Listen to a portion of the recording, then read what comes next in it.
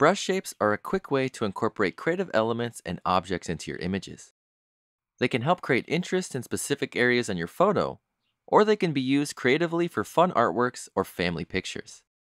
With ON1 Photo Raw, you can easily import and apply custom brush shapes to your photos. In this video, let's import and use custom brushes to liven up an image.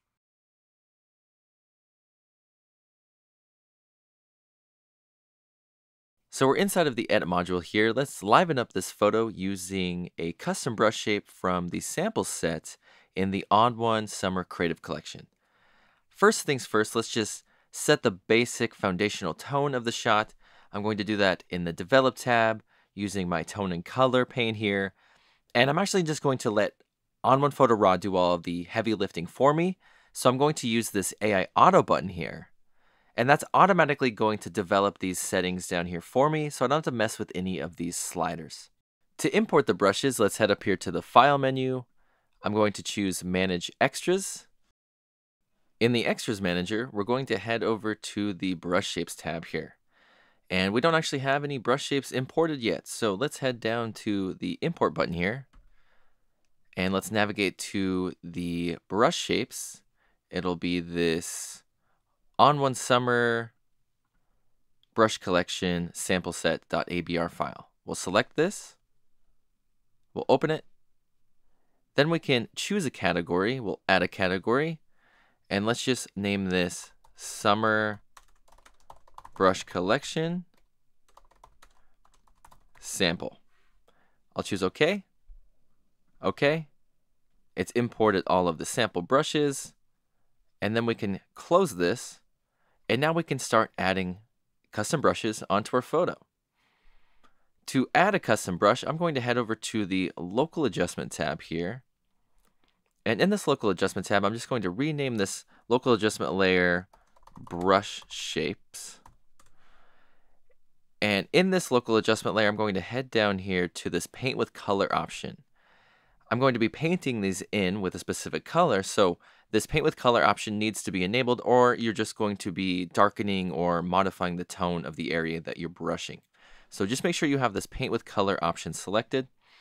And to paint in the custom brush shapes, I'm going to use a color and I'm actually going to paint in the bird brush shape, which you can see the custom brushes over here if you head up to the top modifier bar and you choose the shape option. And if we scroll down here, we have our Summer Brush Collection sample set here, right there. And I'm actually going to use these birds here. So let's just select these birds. And with these birds selected, I'm going to set up my color first. And what I like to do is choose a color from the environment that I'm in. So to do that, I'm going to head to this color rectangle here, and I'm going to select it. Let's just drag this over to the middle of the screen. And I'm going to go into my color dropper tool and I'm just going to select this incredibly dark area right here. Just like that. Now I'm going to head up here to my top tool modifier bar. I'm going to make sure the feathering is at zero and my opacity is at 100. And let's just increase the brush size a little bit with the bracket keys on our keyboard. Right is to increase, left is to decrease and maybe not that big, probably about right there. And let's just paint these in by clicking. Just like that. Now I know they're a bit dark right now and they stand out too much in the frame. That That's not a big deal. We can always modify the blending in a bit. So now that we've painted on those birds to the sky, let's just even out the tone up there using a local adjustment layer with a gradient mask. So let's head over to the local adjustments tab again we're going to add another adjustment.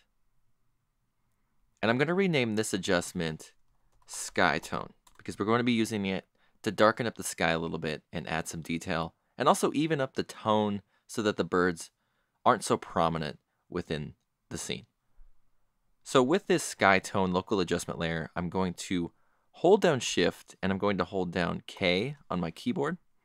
And that's going to grab me my adjustable gradient tool with this adjustable gradient tool, we can use this to protect our foreground and strictly modify the sky area.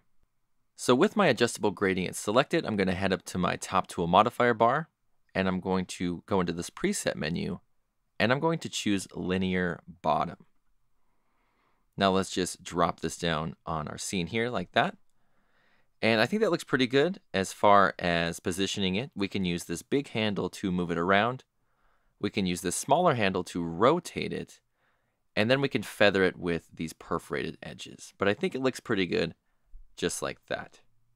And I think that looks much better as far as the tone of the sky with the birds up there. Let's just go to our bird layer again, the brush shapes layer, and let's modify the opacity just a little bit. Maybe to about 88. That looks pretty good just like that. Perfect. So now let's go into our effects tab. Let's just add a filter to kind of top everything off, give it a bit of a creative look. And from the filters, let's apply this color balance filter, which is actually a tri-tone coloring filter, and it allows us to modify the different colors within certain tonalities of our scene. I'm just going to go into the More menu and choose Vivid Warm. And that's going to add a bit of a warm tint to the shot and really just liven up that summery feel within our environment. So now let's just turn this color balance filter off and on. I just want to make one last small tweak inside of the Develop tab. I'm just going to add in a little bit of that contrast back that was taken away when we use the AI Auto button. And I'm also going to pull back on this mid-tone slider just a hair.